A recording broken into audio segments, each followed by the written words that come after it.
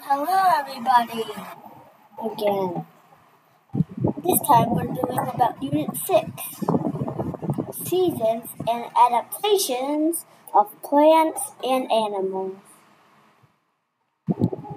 Lesson 6.1 The Earth moves around the Sun. We are going to describe the orbit of the Earth around the Sun. Describe how the tilt of the Earth can create different seasons in different places. Use diagrams as models to describe the Earth's orbit around the Sun and seasons. Note that a diagram can show some of the important features. Use the internet and library books to answer questions.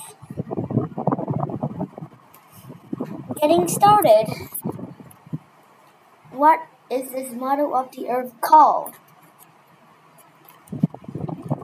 What does the stick through the earth represent?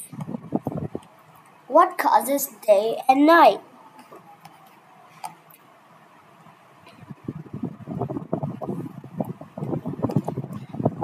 Earth's orbit, as well as turning on its axis, the Earth revolves or moves around the Sun.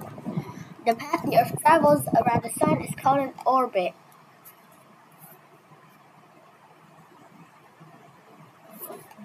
The key words are ellipse, hemisphere, North Pole, orbit, revolve, rotate, season, slight ellipse, South Pole, tilt, and year.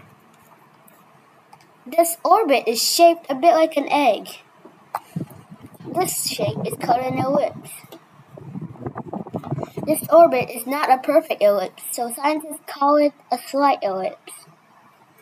Because of the shape of the orbit, the Earth is sometimes closer to the Sun and sometimes further away from the Sun. The average distance between the Earth and the Sun is 150 million kilometers. Wow, that's really long.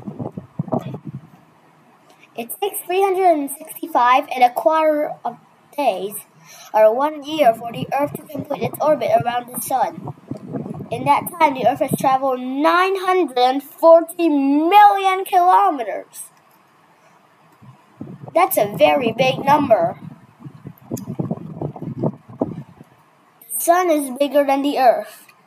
So the Sun exerts a bigger gravitational force on the Earth than the Earth does on the Sun. Think like a scientist, a model of Earth's orbit give reasons why the diagram above is a good model for the Earth orbiting the Sun.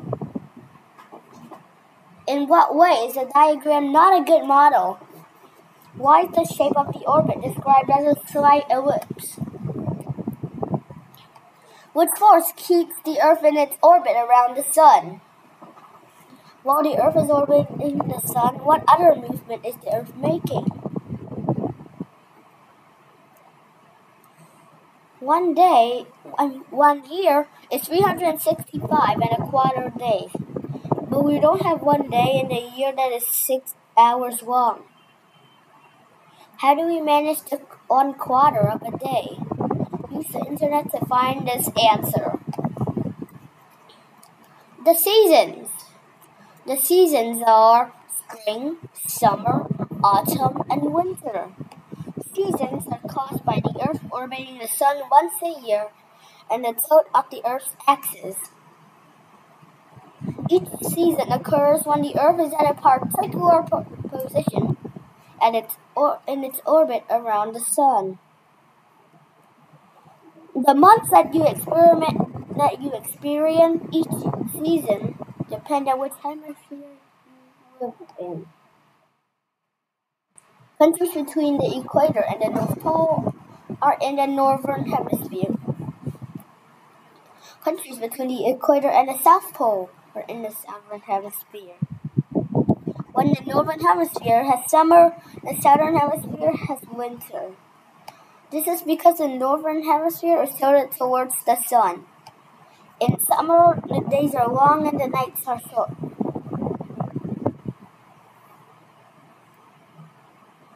At the equator, there are no seasons.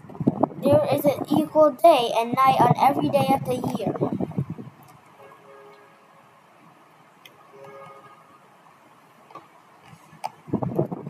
Look at the diagram of the positions of Earth each month in its orbit around the Sun. Find Earth in a June position. Because of the tilted axis, notice that the northern hemisphere is tilted towards the Sun. This means the northern hemisphere is having more daylight and darkness. The northern hemisphere is having summer. The southern hemisphere is tilted away from the Sun and is therefore having winter. Now find the Earth in the March position. Notice that the whole Earth is facing the Sun. As the Earth rotates on its axis, all the Earth will be facing away from the Sun. Both hemispheres are having an equal amount of day and night. March is autumn in the southern hemisphere and spring in the in the uh, southern hemisphere. Yeah, one of these is northern. Activity 1. Find information on a diagram of Earth in its orbit.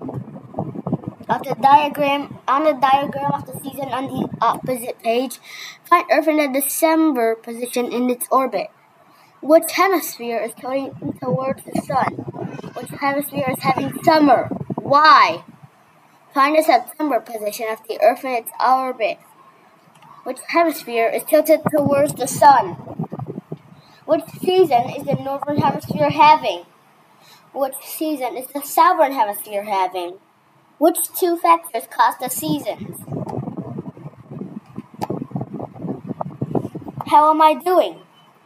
How well can I get information about seasons from a diagram of the Earth and its orbit around the Sun? Choose one from very well, always, sometimes, and I need some help with this.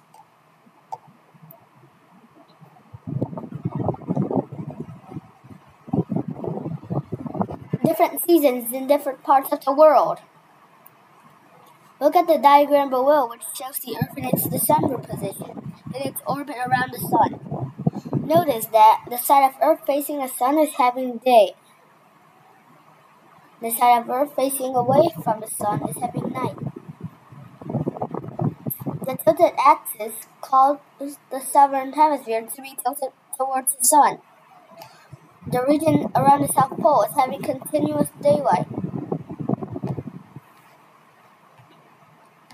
Activity 2. Use a diagram to find information about the seasons. Use the diagram to answer questions 1 to 3. Which hemisphere is having summer? How do you know this? Which part of the world is having 24 hours of darkness? What is the length of day at points A, B, and C? If you lived on the equator, why would you have seasons? If you lived on the equator, would you have seasons? Explain why or why not. The photograph on the opposite page shows the midnight sun. It was taken at midnight in December. Which, in which part of the world do you think this photograph could have been taken?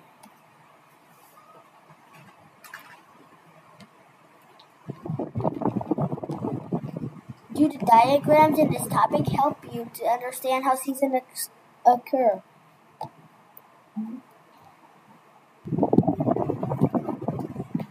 Look what I can do. I can describe the orbit of the Earth around the Sun. I can describe how the Earth creates different seasons in different places. I can use diagrams as models to describe the Earth's orbit around the Sun and seasons. I know that a diagram can show me some of the important features. I can use the internet and library books to answer questions. So, that's the end of lesson 6.1. Thank you and goodbye!